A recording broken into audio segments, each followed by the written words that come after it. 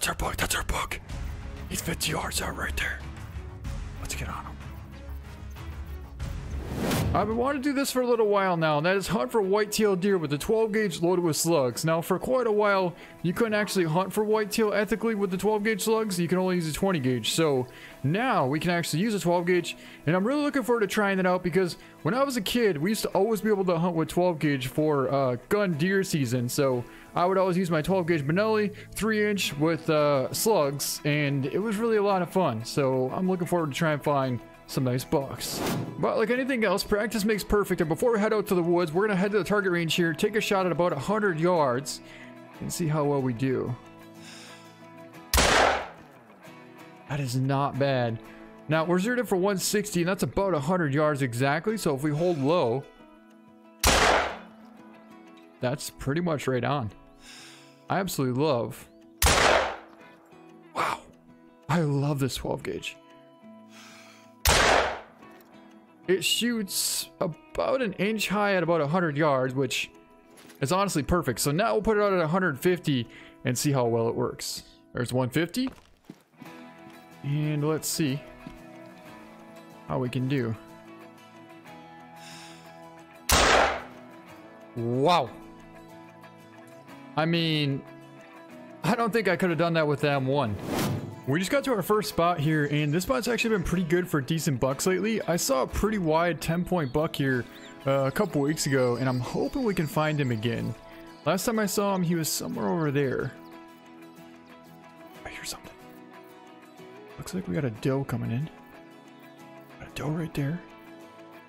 Doe right there. Well, we sat there and waited for about 20-25 minutes, and he never showed up. So I think we're gonna do is see if we can't spot and stalk him. He's got to be around here somewhere. Okay, guys, they're right on top of us. Now, I can't actually see the buck, but there's a doe 20 yards in front of us. She's right there. That means the buck's got to be here too somewhere. Gotta try and slide over a little bit because we are right on top of him. Oh my god. We found him. We just snuck up to 14 yards away from this buck. That's him right there. He's right on top of us. I'm gonna slide over a little bit. I think we're gonna take kind of a front on shot. Yeah, we'll get to the backside of this tree. I think we're gonna take the shot.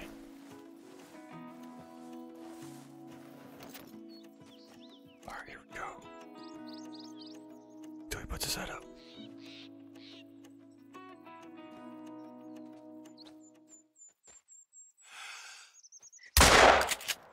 He's down. Yes, we got him. Man, that was a tough hunt. I couldn't figure out where he went. We were way over there and we spotted this buck uh, a couple weeks ago on this backside over here and I was hunting there for basically like 25 minutes today and he never showed up. So then finally I figured well, we should probably get down and see if we can't find him. And sure enough, we found him and here he lays. We snuck up to 14 yards away from this beautiful whitetail buck. Let's pick him up. That's going to be a 194 gold, and we double lung shoulder blade him at 15 yards away. That's a beautiful buck to start off this hunt. It certainly is. But let's take a look at a shot there. That's going to be a 15 yard, and we went right through the shoulder blade and got double lung. And I'm so glad we can finally use the 12 gauge and slugs to be able to hunt the whitetail now. So I do want to show you the spot where we found this buck here because it's an excellent spot. And I've gotten some monster whitetail here where basically by Norden, I have a tent set up right here. And uh, the nearest outpost is this one here, the Norden Outpost, just to the north. And we took down that whitetail buck right here at about 1300 in the afternoon. We got another pretty decent whitetail buck out here. He's about 190. He's not quite as big as the last buck that we got, but he's definitely a respectable buck. Now, we have a good wind, but I think we're going to get uh, probably like 100 yards or so. And we'll see if we can't take a shot on this buck. Well, we're sitting here at about 130 yards out, and I don't really think we can get much closer. Because if we get any closer, we're not going to be able to see them until we get right on top of them. So I'd like to take like a 130 yard shot here, which we could definitely do that. So I think we'll try and zero in for 160 and hold for pretty much right on. Come on, turn back, turn back. That'll work. We dropped him. we just dropped him at about 130 yards out with one single slug. Heck yes, let's go get him. That was a good buck. Solid, solid buck.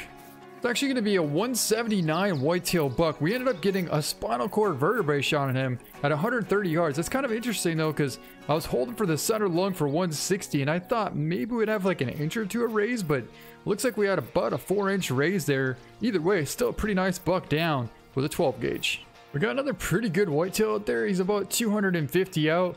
This time we're going to try and go for a 150 yard shot and try and not hit the vertebrae or the spine. Uh, he's pretty broadside there, about 220. If we can get maybe 50 yards closer, we'll be setting pretty good.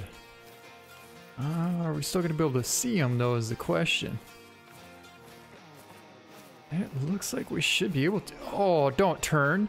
Why'd you have to turn? Well, we're 180 out, which is pretty much where I want to be, but now he's turned the wrong direction.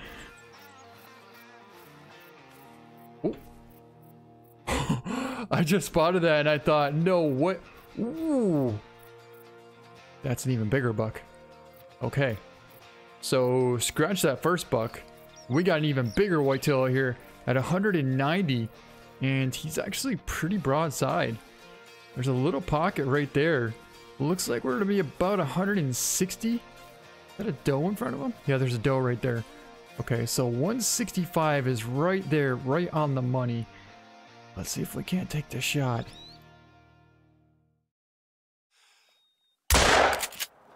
Shot looked awesome. Held it right behind the front shoulder, and that should take him down.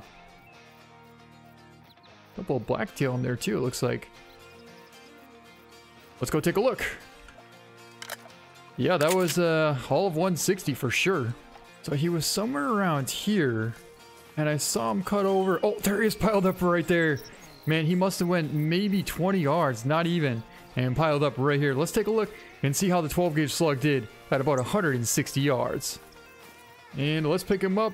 That's going to be a left lung shot at 164 yards, and we actually got a little bit of raise on that because I was holding for the center of the lung, and it looks like it shoots about an inch high. But a 186.9 is not a bad whitetail buck, and a 164 yard shot, pretty cool. I was just about to head to our next spot and I jumped up a massive whitetail. This thing's like a 14 point, super, super tall rack, and he's definitely a giant buck. Somewhere over there, so we're gonna see if we can't track him down and try and get set up on this massive whitetail. Okay guys, we just snuck up to about 50 yards out. I can see an entire herd of whitetail. That's not our buck, it's a good buck, but that's not our buck. I don't know where our big buck is.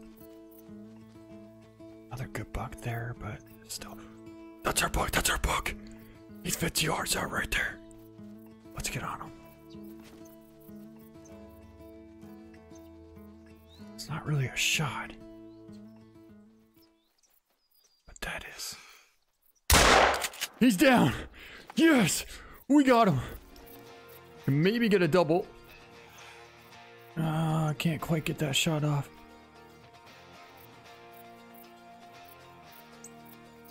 It's just so thick in here. That's why it was so difficult to get close enough to this buck here. And finally we did, and we're about 50 yards away and just smoked this giant buck. Man, he was a smart old big buck. He really, really was. We circled back a couple different times to try and catch his track, and he just kept on evading us. But finally, we got him down. Let's take a look at this beautiful buck. Let's take a cool picture of that, actually. Really cool lighting. Just like that. And let's pick him up. That's going to be a 235 scoring whitetail. We took him at 41 yards out. We double lunged him with a 12 gauge there. Centered the lung pretty nicely and got some pretty good penetration as well. And that sucker weighed almost 200 pounds. What a beautiful whitetail buck.